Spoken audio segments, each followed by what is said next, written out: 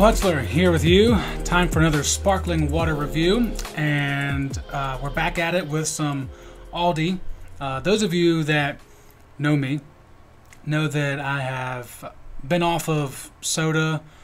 Man, it sounds like a drug. I've been off of soda. Uh, I have not had soda in over a year, but I love bubbles, which I think a lot of people who have the knack, the taste for LaCroix and other seltzer beverages is similar. Uh, their reasoning is similar. They want to have that bubbly, carbonated taste of a drink, but they want to do it without all the bad acid and sugar and all that stuff that uh, takes corrosion off of car batteries.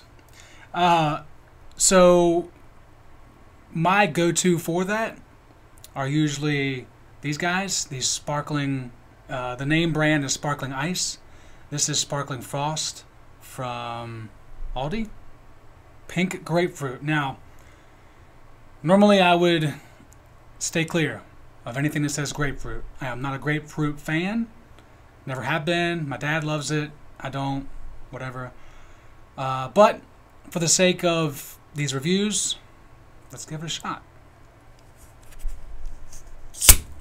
Mmm. Shot out of a cannon.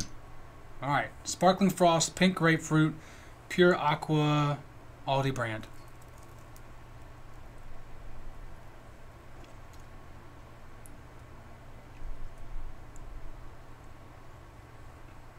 It's okay.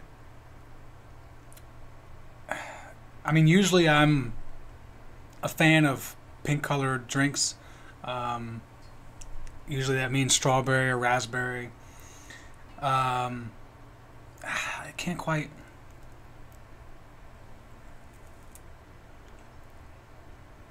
I want to hate it, but I don't. That's the thing. The the aftertaste there's like a of grapefruit. Um, usually that taste that is the reason why I don't like grapefruit, but I don't hate it. I I only bought one just in case I hated it. But I'm going to have to buy more. So, Sparkling Frost, Pink Grapefruit. Uh, I'm going to finish it. I'm to buy more. It's not my favorite, but it's definitely. We'll go 7 6. 7 6 for Sparkling Frost, Pure Aqua, Aldi brand.